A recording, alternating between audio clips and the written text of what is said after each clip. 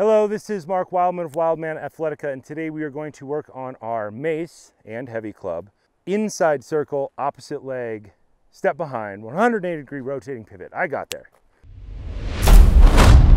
This is part of our step behind series, which is separate from our step in front series. They are separate things, stepping in front and stepping behind. Martial artists will all recognize these movements as being exactly integral to whatever martial art they do. Kung Fu, Judo, Jiu-Jitsu, it's all in there somewhere. Sword fighting, HEMA, it's in there. Most people have problems learning martial arts because they have a problem separating the different steps in their mind. Stepping behind versus stepping in front, opposite leg versus same side leg. So this whole series is meant to help you work on that with something in your hand because I can't stand doing footwork drills by themselves. I find them super annoying. So we put a mace in our hand and which allows us to focus more and get a better core response and therefore a better athletic training effect. We have our inside circle. We have practiced stepping in front with the same leg, stepping across with the opposite leg, stepping behind with the same side leg,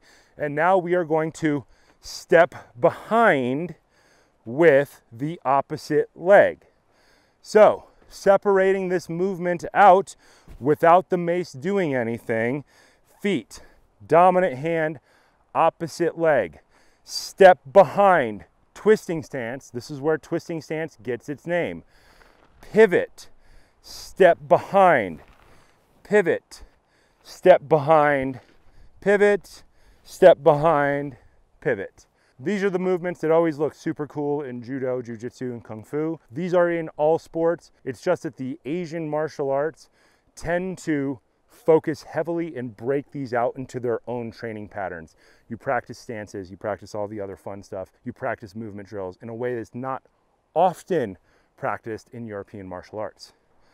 Step, circle. The mace is going to change from this side to this side of our body. Inside, stop.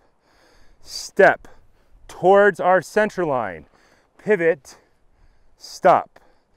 Step behind, towards our center line, pivot, stop, step, towards our center line, pivot, and stop.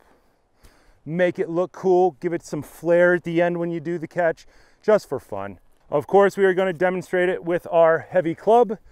Maces used for flow tend to be much lighter than single arm heavy clubs used for training. If you're doing this with a heavy club, drop down from your non-moving weight where you can use the heaviest club possible, go down 50% or whatnot so that you don't end up tearing your spine out. Step behind, inside, changes from front to the back of our body as our body changes its orientation. Step behind, pivot, catch, step behind, pivot, catch, step behind, pivot, and catch. You will recognize these all as striking drills from various martial arts. How deep they make the stance determines the style. In Kung Fu, you would probably train it from all the way down and do the pivot punch step. This move is exactly from martial arts. Exactly.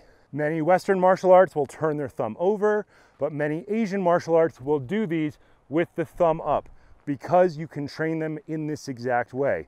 Your lineup will get better, your core will get better, and you will get more solid at these fun, weird types of striking. The better you get at these weird types of striking, usually the stronger you get at simpler, less dynamic types of striking.